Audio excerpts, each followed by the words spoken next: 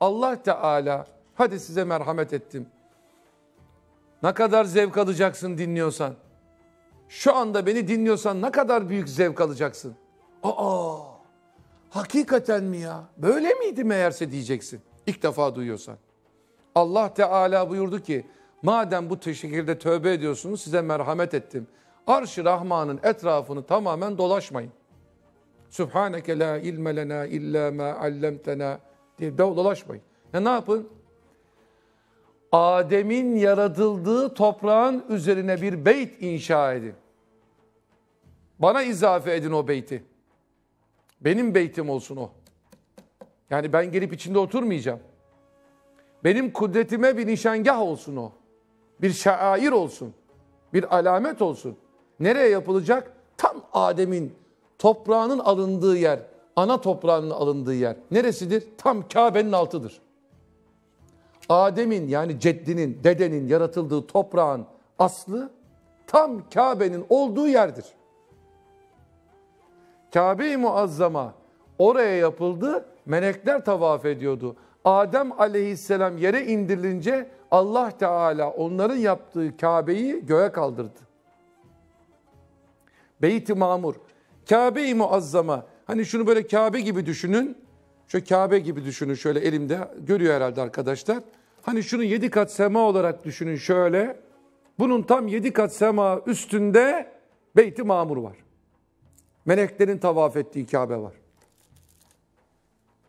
İşte Adem aleyhisselam indiğinde Allah'ın emriyle o Kabe'nin olduğu yere insan yapısıyla bir Kabe yaptı. Nuh tufanından sonra her şeyi alametini o bölgede ne varsa hakile yeksan oldu. Dağlara kadar yükseldi sular. Bir tufan koptu. Kabe'nin yeri de silindi. Hocam nasıl oluyor Allah silmeyeydi. Kardeşim orası Allah'a izafe edilen yer. Allah Teala onun silinmesini de takdir etti. Nereden anlıyoruz? Kur'an'dan anlıyoruz. Sonra Hazreti İsmail ile Hacer validemizi Hazreti İbrahim aleyhisselam Mekke'ye geldi. Kendisine gösterilen rüya üzere tam Mekke-i Mükerreme'nin olduğu yerde çöl hiçbir şey yok. Su da yok. Sen şimdi gidiyorsun orada kalıyorsun 5 yıldız 7 yıldız otele şak şak şak lak lak lak su içiyorsun ama hiçbir şey yok. Çöl. Bir boş vadi. Kayalık. Nebatat yok. Hazreti Hacer validemiz de İsmail kucağında bebek. Geldi burası dedi. Burasını işaret etti Mevla.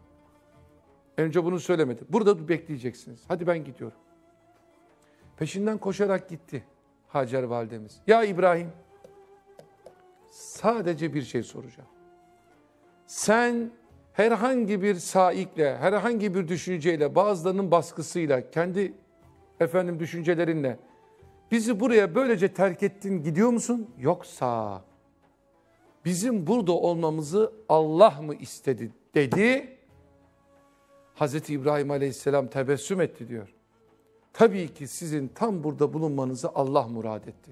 Ben de ona göre hareket ettim. Gerisi ona kalmış. Diyorlar ki Hazreti Hacer bu sözü duyar duymaz. Böyle İbrahim Aleyhisselam'la konuşurken hemen döndü. Bak böyle konuşurken Allah mı istedi? İkinci bir kelime etmedi. Döndü İsmail'in yanına.